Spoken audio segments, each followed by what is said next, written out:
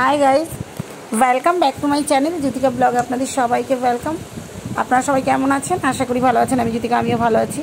চলুন, চলে এসেছি আজ আবার ছোট্ট একটা ব্লগ নিয়ে। এই দেখুন, সকাল সকাল মেয়েকে স্কুল দিতে যেতে হবে। আমার ভাতও প্রায় হয়ে এসছে।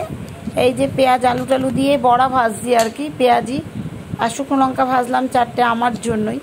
আর যে মেয়ের টিফিনটা কেটে দিচ্ছি মানে এদিকে একটু, ওদিকে একটু মানে এত তাড়া থাকে। আর এদিকে দেখুন আপনারা একটা জিনিস আজ টিফিনটা শুধু শশা ছিল আর লেবু ছিল তাই দিলাম। আর একটু যা নেবে সুইস রোল নিক বা কেক নিক। আজকে বললাম মামা বানাতে হবে না। আর ভাতে জল ঢেলে ভাত খাচ্ছে, পান্তা ভাত করে ভাত খাচ্ছে। আচ্ছা ওর মধ্যে তাই জন্য আর কি বড়া ভাজতে বলল। চলুন, এই যে মেয়ে দিতে যাব খুব তাড়া। তার মধ্যে এদিকে যে উচ্ছে কেটে বসিয়ে রেখে বসিয়ে রেখেছিলাম। উচ্ছেটা ভাজা ভাজা করে নিচ্ছি। এই দেখুন ঢ্যাঁড়স ভাজা হয়ে গেছে থোর ভাজা হয়ে গেছে অলরেডি হ্যাঁ? এই যে অর্ধেকটা করে রেখে দৌড়বো। এই উচ্ছেটা ভেজে নিচ্ছি। দেখুন কি অবস্থা সব।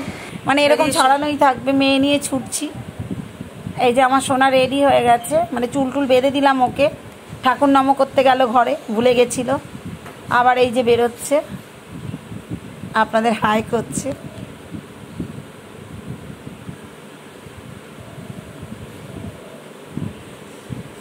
প্রচণ্ড গরম গাইজ প্রচণ্ড কি বলব আপনাদের, মুখ টুক মনে হচ্ছে পুড়ে যাচ্ছে।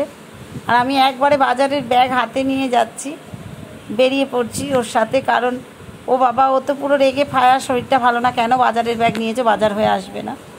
তারপরে নিচে রেখেই চলে যাচ্ছিলাম।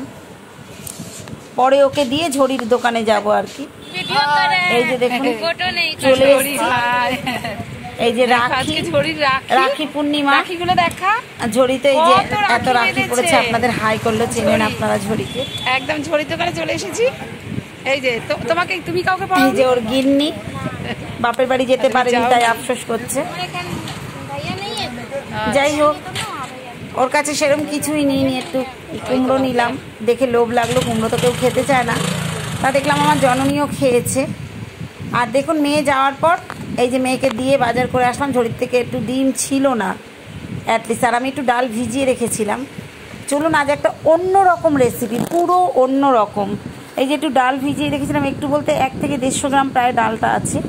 আর দুটো বড় বড় কাঁকরোল কেটে নিয়েছি। আর একটা আলু কেটে নিয়েছি বড় দেখে, আর পাঁচটা ডিম। এখানে গোটা গরম মশলা আর আপনার তেজপাতা, গোটা জিরে। আর এদিকে কুমড়োটা ভাজা হচ্ছে কালো জিরে আর কাঁচকলা দিয়ে। এই সরি কাঁচা লঙ্কা দিয়ে। আচ্ছা ওদিকে ডিম সেদ্ধ হয়ে গেছে। আর ওখানে আমি নিয়ে নিয়েছি আপনার, দেখুন, আপনাদের মশলাটা, এই যে এখানেও আমি গোটা তেজপাতা আর পাঁচফোড়নগুলো দিয়ে দিই, এই পাঁচফোড়ন বলছি গোটা গরম মশলা আর আপনার গোটা জিরে দিয়ে দিলাম, দিয়ে একবারে কাঁকরোল আর হচ্ছে আলুটা দিয়ে দিলাম। আমি কিন্তু এখানে পেঁয়াজ ফোড়ন দিইনি। যেহেতু ওই বাটা মশলাটার মধ্যে গাই আমি আদা, জিরে, পেঁয়াজ পেঁয়াজ, টমেটো সমস্ত একসাথে দিয়ে নিয়েছি। আদা, রসুন, জিরে, পেঁয়াজ, টমেটো সব একবারে মশলা বেটে নিয়েছি। আর দুখানা খালি কাঁচা লঙ্কা দিয়েছিলাম, যেহেতু আমার কেউ খেতে চায় না, আর অল্প করে ওই আপনার কি বলে কাশ্মীরি লঙ্কার গুঁড়ো দিয়েছি, কালারটা হবে বলে কিন্তু হবে হয়নি। কালারটা কাঁচা লঙ্কারই কালার এসেছে, যাই হোক। আর এই যে ডিমগুলো ভেজে নিয়েছি। আর ততক্ষণ একটুখানি আপনাদের দেখিয়ে দিই, কি প্রখর রোদ। মানে ঘরের মধ্যে মনে হচ্ছে প্রাণটা বেরিয়ে যাবে এই রকম ব্যাপার। তাহলে আমার বাচ্চাটা স্কুলে কি অবস্থার মধ্যে আছে? এই যে আটাগুলো একটু রোদে দিয়েছি, আটার ডাব্বাটা। দেখুন, বুঝতে পারছেন রোদ, এই যে বাড়িটার ছায়া পড়েছে। ক্যামেরায় অতটা বোঝা যাচ্ছে না গাইজ মানে কি বলব আপনাদের? অস্বাভাবিক, চৌত্রিশ পঁয়ত্রিশ ডিগ্রির নিচে তো এখন নেই। মানে অস্বাভাবিক হয়ে গেছে গরমটা। দেখুন, একটু দেখিয়ে এলাম, আমার ইয়েগুলো ভাজা হয়ে গেছে, কাঁকরোল আলুগুলো। এবার আমি এখানে যে বললাম, আদা, পেঁয়াজ, রসুন, টমেটো, জিরে। সব একসাথে দিয়েছি, দুটো কাঁচা লঙ্কা। আর একটুখানি কাশ্মীরি লঙ্কার গুঁড়ো দিয়েছি।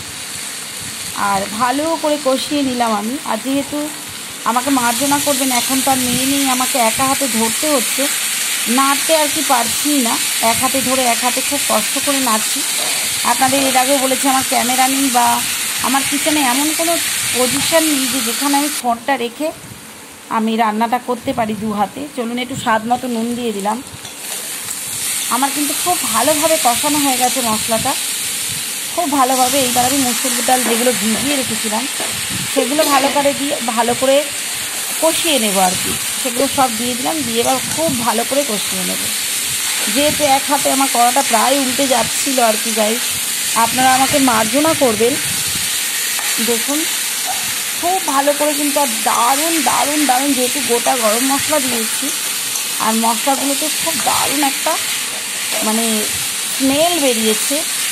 আপনারা প্লিজ এরকমভাবে একবার ট্রাই করবেন আমার কথা শুনে।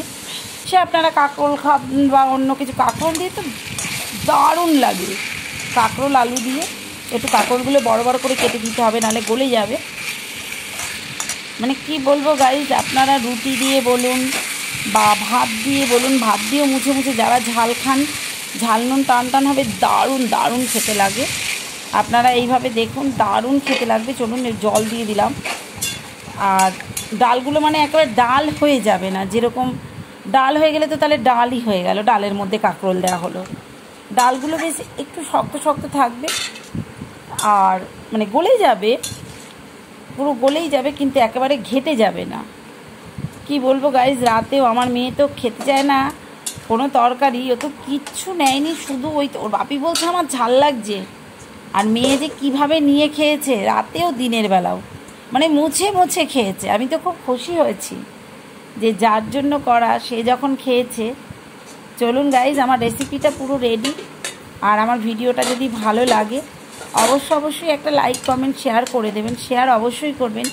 যারা নতুন বন্ধুরা আছেন, একটা সাবস্ক্রাইব করে বেল আইকনটা পুশ করে এবং অল বাটনটা হিট করতে ভুলবেন না প্লিজ নাহলে সাবস্ক্রাইবটা পুরো হয় না। প্লিজ আমার পাশে থাকুন। আমার বন্ধুরা সবাই এইভাবে আমার পাশে থাকুন। এই দেখুন লাস্টে আমি গরম মশলা দিয়ে দিলাম। একটু গুঁড়ো গরম মশলা দিলাম। যেরকম কালারটা হয়েছে গাইস খেতে ঠিক ওরকমই টেস্টি হয়েছে। মানে মনে হচ্ছে মুখে লেগে আছে, এত সুন্দর। আমি যা, যতক্ষণ আপনারা একবার অবশ্য বাড়িতে অবশ্যই ট্রাই করবেন। দারুণ দারুণ। যে যেরকম ঝাল খান সেরকম দেবেন। যারা একটু ঝাল খেতে ভালোবাসেন তারা ঝাল দেবেন। মানে অতুলনীয়। দারুণ খেতে হয়েছে। আর চলুন, রাতে চলে এলাম। রাতে আবার, না সরি এখন তো মানে আগে আমটা কেটে নিই।